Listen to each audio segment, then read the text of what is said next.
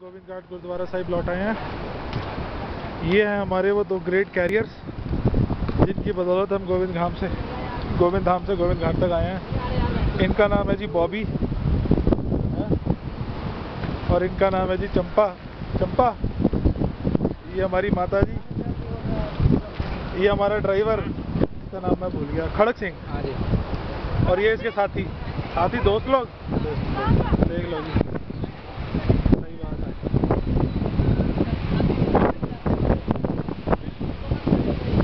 ये ये तुम्हारे होंगे भैया?